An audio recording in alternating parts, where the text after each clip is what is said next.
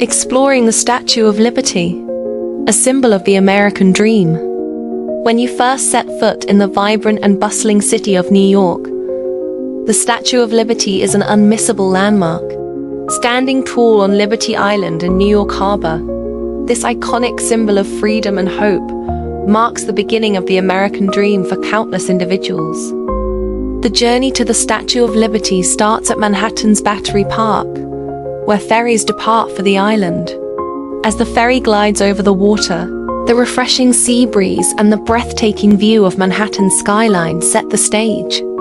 Gradually, the silhouette of Lady Liberty comes into focus, as if welcoming each visitor personally.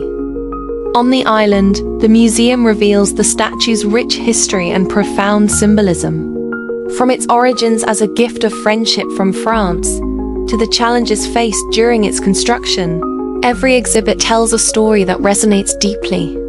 For a truly unforgettable experience, consider reserving tickets to the pedestal or crown. These vantage points offer stunning panoramic views of New York Harbor, with the crown being a once-in-a-lifetime highlight but be sure to book weeks in advance.